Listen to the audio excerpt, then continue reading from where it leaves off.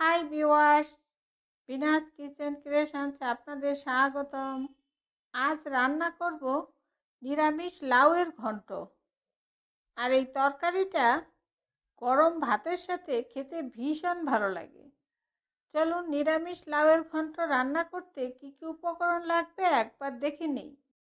প্রথমে লাগবে লাউ, নারিকেল বাটা, জিরার গুঁড়া, হলুদের গুঁড়া মরিচের গুঁড়া, আদা বাটা, লবণ, শুকনা মরিচ, আস্ত জিরা, কাঁচা মরিচ, তেজপাতা, চিনি ও তেল।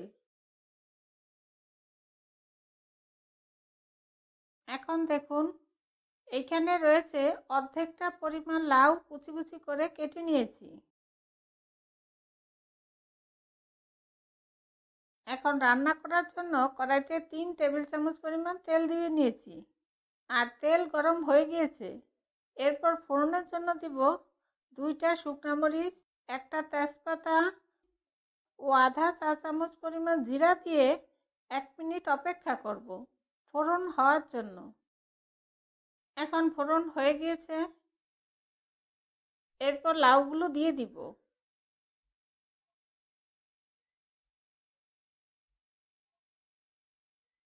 আর দিব, এক টেবিল চামচ পরিমাণ নারকেল পাটা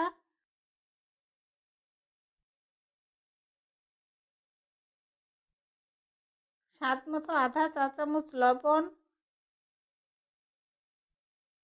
আধা চা চামচ জিরার গুঁড়া। আধা চা চামচ আদা বাটা।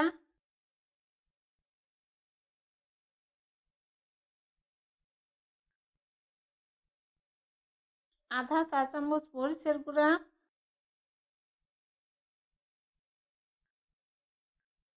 ও আধা চা চামচ হলুদের গুঁড়া দিয়ে লাউগুলো ভালোভাবে নেড়ে দিব। এরপর ঢেকে পাঁচ মিনিট অপেক্ষা করব। লাউগুলো ভালোভাবে সিদ্ধ হওয়া পর্যন্ত। আর ঝাল ও লবণ আপনাদের স্বাদ মতো দিবেন।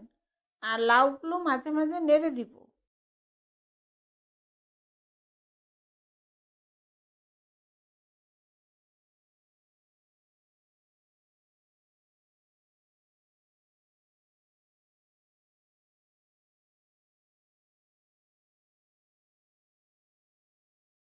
এখন ঢেকে পাঁচ মিনিট অপেক্ষা করার পর দেখুন, লাউগুলো সিদ্ধ হয়ে গিয়েছে।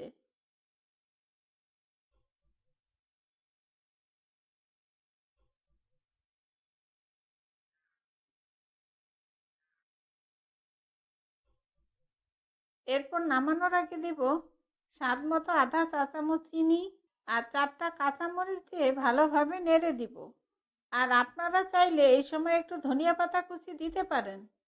এরপর লাউ থেকে যে পানি বের হয়েছে, সেই পানিগুলো একটু শুকিয়ে যাওয়া পর্যন্ত অপেক্ষা করব। এখন লাউয়ের পানি প্রায় শুকিয়ে গিয়েছে, দেখুন। লাউ মাখা মাখা হয়ে গিয়েছে। আর এখন লাউয়ের ঘন্ট গরম গরম ভাতের সাথে খাওয়ার জন্য একদম তৈরি। এরপর পরিবেশন করব।